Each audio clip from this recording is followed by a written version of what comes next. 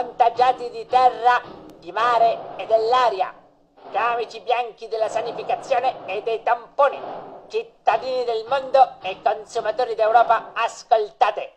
L'infido virus trama alle vostre spalle, ma il governo resta vigile e allerta, sempre teso alla vostra incolumità. Grazie ai migliori luminari in campo scientifico, il presidentissimo Giuseppe Conte ha diramato alla nazione le nuove disposizioni. Il virus agisce col favore delle tenebre e dunque posto il coprifuoco al chelar del sole. Il virus è bramoso di bevande ed uso al bere smodato. Sono pertanto chiusi i locali dalle ore 18.00. Poiché il virus non intacca l'organismo migrante, le preziose risorse avranno libero accesso ai padri litorali. Sono invece proibiti tassativamente gli assembramenti sediziosi e le palestre della cultura fascista.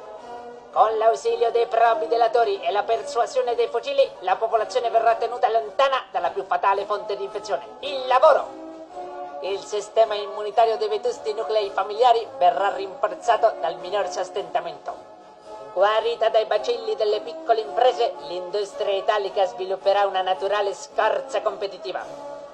Nel momento del bisogno, l'Europa è al nostro fianco.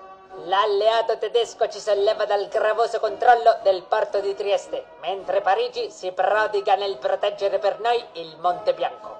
Un'altra umiliazione per la marmaglia sovranista.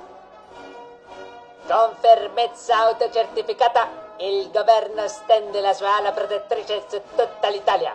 Il positivo verrà stanato ovunque si nasconda. L'asintomatico assaggerà presto l'educazione della quarantena.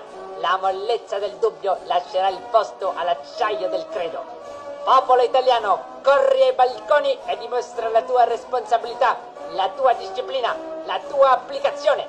Spezzeremo le reni al virus.